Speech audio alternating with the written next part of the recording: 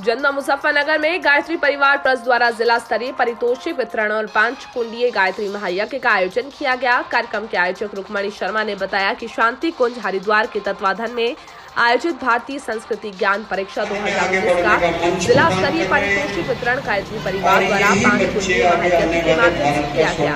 कार्यक्रम में कक्षा पांचवी से कक्षा बारहवीं चौबीस छात्रों को प्रथम पुरस्कार से छात्रों को मोबाइलों प्रशिक्षित पत्र प्रमाण पत्र शांति के सहयोग से बच्चों शिक्षकों को अतिथियों को सम्मानित किया। कार्यक्रम के अतिथि चेयरमैन नगर पालिका राष्ट्रीय कार्यकारिणी सदस्य डॉक्टर सुभाष चंद्र शर्मा रहे। कार्यक्रम में सैकड़ों की संख्या में महिला पुरुष छात्र छात्राओं ने प्रतिभाग किया।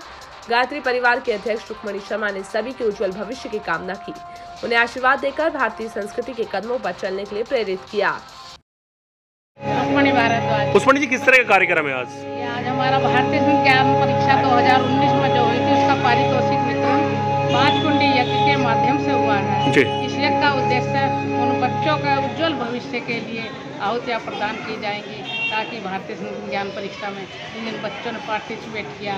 जो इसमें टॉपर स्टूडेंट आए हैं, उनका उज्जवल भविष्य, ऐसी भावना से हमने पाँच कुंडी यज्ञ का आयोजन किया है। और इसमें हमारे सोलह हज़ार बच्चों ने पार्टिसिपेट उन सोलह हज़ार बच्चों में से आठ सौ कुछ चौवन बच्चे इसमें सम्मानित किए गए हैं विद्यालय स्तर पर। और चौबीस और एक सौ सत्तर बच्चे हैं ब्लॉक स्तर और तहसील स्तर पर। और आज हमारे चौबीस बच्चे जिला स्तर पर सम्मानित किए गए हैं। कोरोना की वजह से ये प्रोग्राम हमारा दो साल थोड़ा सा डिले हुआ है, मगर आज इसको हम बड़े विधि विधान पूरे शहर जोश खरोश के साथ हमने भारतीय विज्ञान परीक्षा को के प्रोग्राम को आयोजित कराया है। शांति कुंज हरिद्वार की ये परीक्षा 28 देशों में हमारे करीब एक चौवन लाख बच्चे, हर बच्चे चौवन लाख बच्चे हर वर्ष परीक्षा में भाग लेते हैं।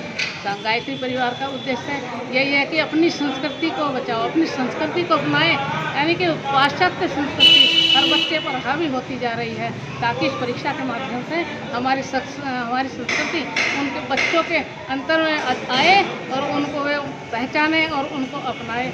कि पाश्चात्य संस्कृति गलत धकेल रही है इन बालकों पर। इनका भविष्य खराब हो रहा है।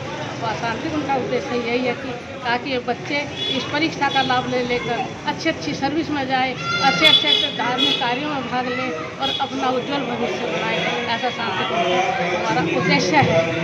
और अगर नशा उन्मूलन और दहेज प्रथा का और हत्या वगैरह सब आंदोलन, वृक्षारोपण वगैरह कार्य गंगा प्रदूषित हो रही है, उसका भी साफ़ करने का कार्य गायत्री परिवार हमारा कर रहा है। सात आंदोलन हम लोगों ने चलाए हुए हैं, इनमें देश प्रथा को ख़त्म करना हत्या को ख़त्म करना, ऐसे ऐसे कार्य गायत्री परिवार दीप यज्ञ और पुंसवन संस्कार जैसे कार्य गायत्री परिवार चला रहा है, ताकि गर्भ में ही रहते हुए बच्चे को अच्छे संस्कार प्राप्त होंगे, तभी तो राम और भरत जैसे बच्चे पैदा होंगे।